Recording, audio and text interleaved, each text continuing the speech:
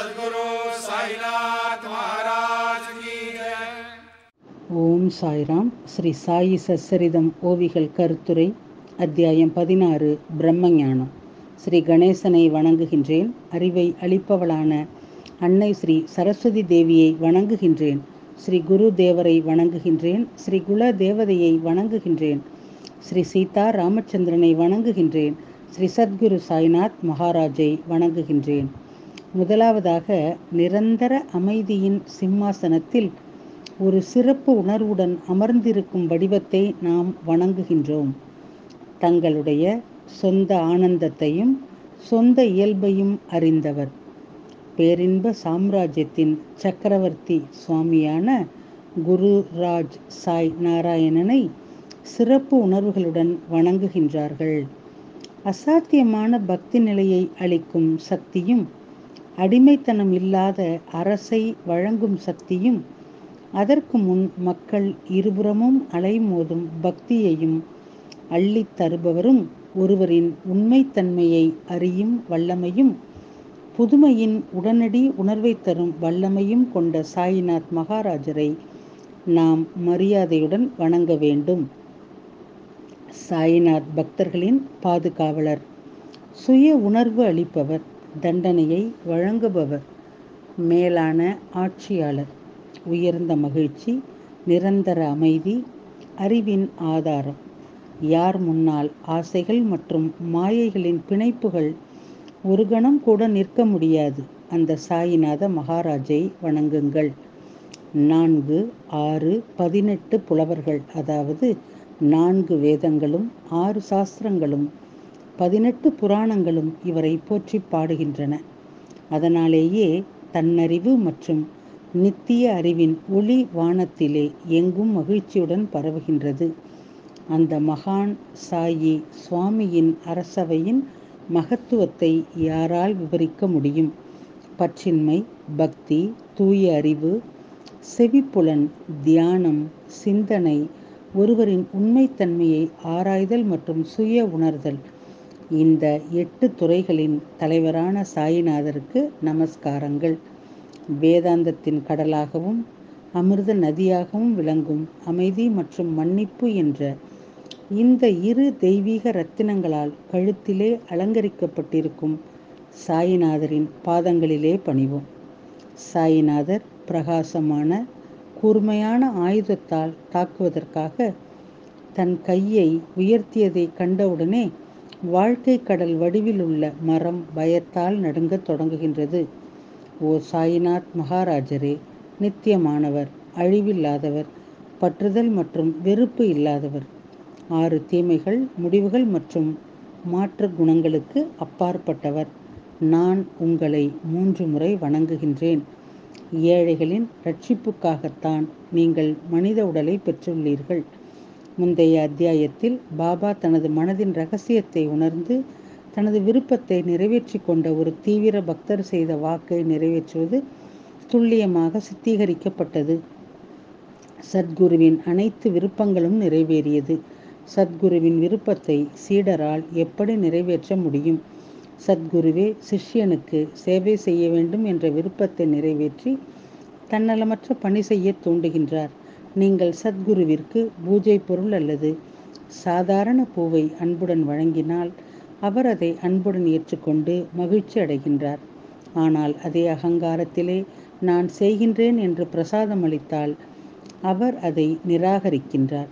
சத்குரு நிரந்தர சுயமான நித்திய மகிழ்ச்சியின் அடிமட்ட கடல். அவர் வெளிப்புறமாகவோ அல்லது மேலோட்டமாகவோ செய்யப்படும் உபச்சாரங்களில் ஆர்வம் காட்டுவதில்லை. ஆனால் அதே பரிகாரங்களை பக்தியுடன் வழங்கும்போது அவர் மகிழ்ச்சியுடன் ஏற்றுக்கொள்கின்றார். சத்குருவே தன்னை தானே அஞ்ஞானி போல காட்டிக்கொள்கின்றார் ஆனால் பக்தர்களின் அறியாமையை நீக்கி அவர்களுக்கு நிரந்தர அறிவை வழங்குகின்றார். நாம் அவரின் சேவகர் என்ற கண்ணியத்தை மீறாமல் இருந்தால் மட்டுமே சத்குரு தூய அறிவையும் இனிமையான போதனைகளையும் வழங்குகின்றார். சத்குருவை அன்புடன் சேவிப்பதன் மூலம் சத்குரு பக்தனை பிரம்மத்துடன் ஒன்றாக்குகின்றார். அதாவது நிரந்தர முக்தியை அளிக்கின்றார். மற்ற எல்லா வழிகளையும் புறக்கணித்துவிட்டு குருவின் சேவையில் மட்டுமே தன்னை அர்ப்பணிக்க வேண்டும். ஒரு பயிலுபவன் சத்குருவுக்கு சேவை செய்ய தவறினாலோ அதி புத்திசாலித்தனம் செய்தாலோ திருட்டு அல்லது கவனக்குறைவு செய்தாலோ அல்லது சேவையை தள்ளி போடுவதில் புத்திசாலியாக இருந்தாலோ அல்லது தனது ஞானத்தை காட்டாமலோ அவர் பல இன்னல்களை சந்திக்க நேரிடும்.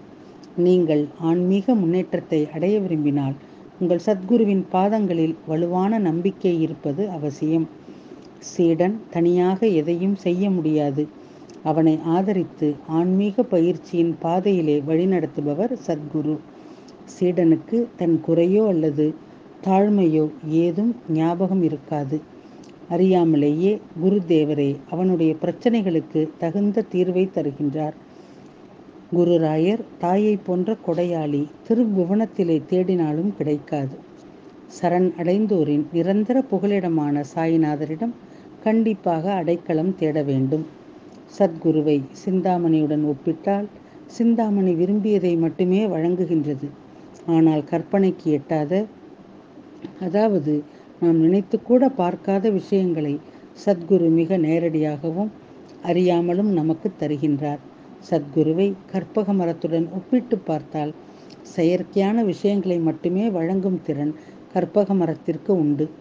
சத்குரு பக்தர்களை கற்பனைக்கு அப்பாற்பட்ட சுதந்திர நிலைக்கு அதாவது சமாதி நிலைக்கு அழைத்துச் செல்கின்றார். காமதேனு நம் விருப்பங்களை மட்டுமே நிறைவேற்றுகின்றது. காமதேனுவை விட குரு வடிவிலே இருக்கும் தேனு சிறந்தது. கற்பனைக்கு அப்பாற்பட்டவற்றை அளிப்பவர் என்ற கற்பனைக்கு அப்பாற்பட்ட சத்குருவின் உருவத்தை வேறு எவருக்கும் எப்படி வழங்க முடியும்? முந்தைய அத்தியாயத்தின்படி பிரம்ம ஞானத்தை அடைய வேண்டும் என்ற தீவிர ஆசையுடன் வந்த ஒரு குடும்பஸ்தரின் கதையை கேட்போம். பிரம்ம ஞானத்தை அடைவதற்கு யாருக்கும் உரிமை உண்டு என்று குருதேவர் சொன்ன கதையிலிருந்து ஆரம்பிக்கலாம். கேட்போர் கவனமாக கேட்குமாறு அன்புடன் கேட்டுக்கொள்கின்றேன். பிரம்ம ஞானத்தை அடைய வேண்டும் என்ற ஆவலை மனதிலே கொண்டு வந்துள்ள ஒரு பக்தருக்கு பாபா தனது அறிவுரைகளை எவ்வாறு வழங்குகின்றார்? மற்றும் ஆழ்நிலை சூத்திரத்தின் மூலம் தனது பிரச்சனையை தீர்க்கின்றார் என்பதை ஒருமுகப்பட்ட மனதுடன் கேளுங்கள். புனிதர்கள் ஆசையற்றவர்கள். அவர்களின் ஆசைகள் அனைத்தும் நிறைவேறும். ஆனால் பக்தன் எப்போதும் எதையாவது பெற வேண்டும் என்று எதிர்பார்க்கின்றான். எத்தனை ஆசைகள் நிறைவேறினாலும் அவனுக்கு திருப்தி இல்லை. சிலர் மகன் மக்களையும் விரும்புகின்றார்கள். மற்றவர்கள் தடையற்ற அரசு அதிகாரத்தை விரும்புகின்றார்கள். சிலர் வாழ்க்கை கடலில் இருந்து விடுதலையை விரும்புகின்றார்கள். மற்றவர்கள் பக்தியை விரும்புகின்றார்கள். அதுபோலவே சாதாரண இயல்புடைய ஒரு பக்தன் பிரம்ம ஞானத்தை அடைய விரும்பி எப்போதும் செல்வத்தை குவிப்பதிலே மூழ்கியிருந்த பேராசை கொண்ட குடும்பஸ்தன். பாபாவின் பெரும் புகழை கேள்விப்பட்டு அவரை காண வந்தான். அந்த குடும்பஸ்தன் பணக்காரராகவும் செல்வந்தராகவும் இருந்தார். வீட்டிலே நிறைய வேலைக்காரர்கள் இருந்தார்கள். தாராள மனப்பான்மையுள்ள அவர் பாபாவை தரிசனம் செய்ய விரும்பினார். பாபாவை பிரம்ம ஞானி என்று நினைத்தார். துறவிகளிலே இவரும் ஒரு புனிதர். முனிவர்கள் மகான்களின் மணி மகுடம் மகத்தான செயல்களை கொண்ட அந்த பாபாவின் பாதத்திலே ஒருவர் தலையை வைக்க வேண்டும். இந்த காரணத்திற்காக அவர் பிரம்ம ஞானத்தை அடைய விரும்பி ஷீரடிக்கு வந்தார். என்னிடம் உலகச் செல்வம் ஏராளமாக இருக்கின்றது என்று எண்ணினார். மற்றும் எதற்கும் குறைவில்லை. எனவே நான் பிரம்ம ஞானத்தை மட்டுமே வேண்டுவேன். பிரம்ம ஞானம் எளிதிலே கிடைத்தால் புண்ணியம்.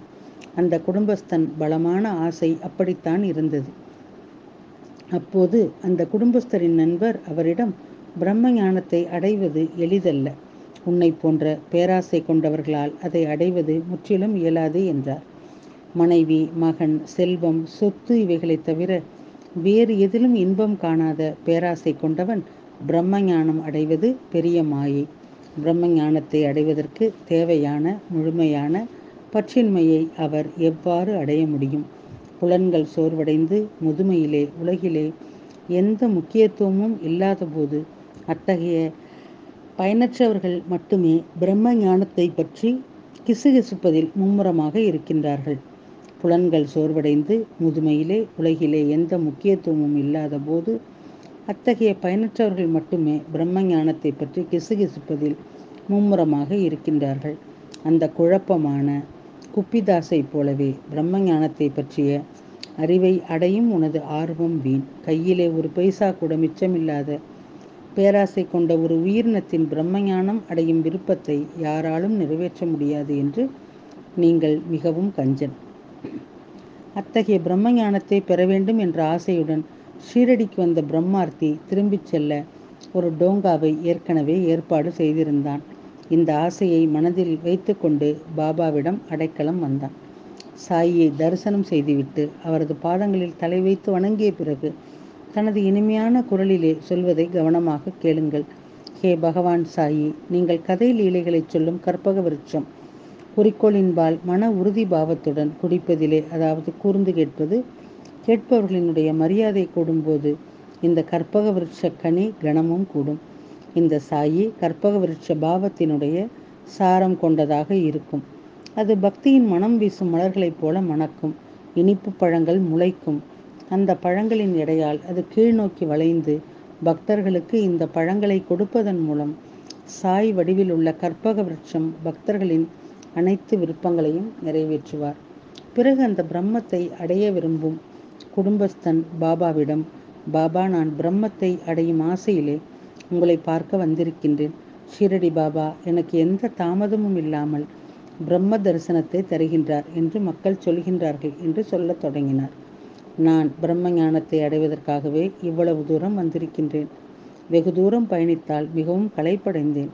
எனவே விரைவிலே அந்த பிரம்ம ஞானம் கிடைத்தால் என்னை நான் பாக்கியசாலியாக கருதுவேன். அப்போது பாபா அந்த பிரம்மத்தை அறிய விரும்புவனிடம் கவலைப்படாதே உனக்கு இப்போதே பிரம்மாவின் தரிசனம் தருகின்றேன். உடனே சொல்கின்றேன் இங்கே கடன் வாங்கும் பேச்சு இல்லை அல்லது பிறகு சொல்கின்றேன் என்பது இல்லை. உன்னைப் போல பிரம்ம ஞானம் கேட்கும் ஒருவன் மிகவும் அரிது என்றார். இங்கு பலர் வருகின்றார்கள் சிலர் செல்வம் கேட்கின்றார்கள் சிலர் நோயை தீர்க்க பேரழிவுகளை அழிக்க வருகின்றார்கள் சிலர் புகழ் மதிப்பு மரியாதை அதிகாரம் கேட்க வருகின்றார்கள். எல்லா மக்களும் எப்போதும் மகிழ்ச்சியை கேட்கின்றார்கள். ஸ்ரீஹரிகரார்ப்பணமஸ்து சுபம் பவது. அத்தியாயம் பதினாறு. பிரம்மஞானம். ஓவிகள் மற்றும் கருத்துரை. அடுத்த தொடரிலே கேட்கலாம். சாயியை பணிவோம். சாந்தி நிலவட்டும். ஓம் சாய்ராம். ஸ்ரீ சச்சிதானந்த சத்குரு சாய்நாத்